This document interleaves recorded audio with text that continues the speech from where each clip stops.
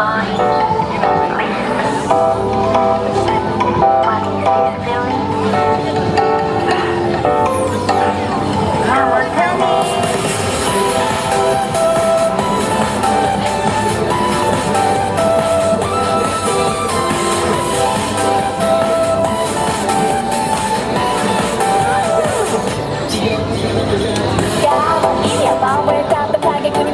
말해봐 오빠 여자랑 술하고 솔직히만 해봐 나만 따라가는 길이 왜 이리 떨리는지 알고 싶어 이거 이거 딱 보고 싶어 엄마 엄마 엄마 엄마